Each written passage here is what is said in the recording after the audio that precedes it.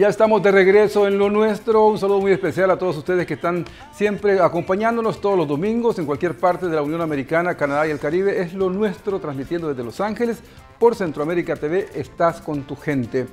Y recientemente, eh, pues el pasado viernes más bien, en El Salvador se originó un incendio en las torres del Ministerio de Hacienda. A continuación queremos presentarles las imágenes que son bastante dramáticas.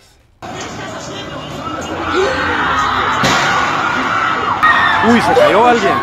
Se cayó una persona. Un incendio que fue reportado el pasado viernes en los pisos 4, 5, 6 y 7 de la torre número 2 del Ministerio de Hacienda en la capital salvadoreña, donde está ubicada la unidad penal tributaria más conocido como las Tres Torres. De acuerdo con el informe preliminar, el, siniestro duró aproximadamente una hora con 20 minutos y cerca de las 4 y 30 Protección Civil notificó que el incendio fue controlado en su totalidad. Una persona perdió la vida y otra se lanzó del octavo piso, la cual se encuentra estable pero con múltiples fracturas. Las autoridades informaron que el incendio se debió a un cortocircuito en el sistema de aire acondicionado en el cuarto piso.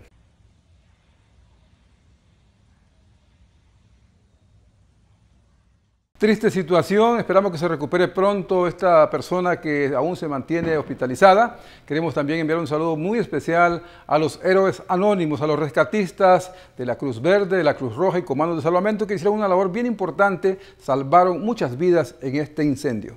No se mueva, que en breve regresamos con más de Lo Nuestro.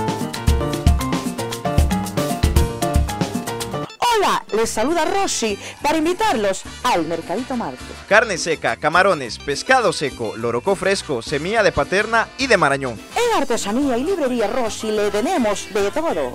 Mora, chipilín y dulces de feria, hamacas, petates, atarrayas, cumas, machetes, zapatos típicos, toalla y la sal, trajes típicos y uniformes deportivos. Venga, los esperamos. Será un placer atenderle.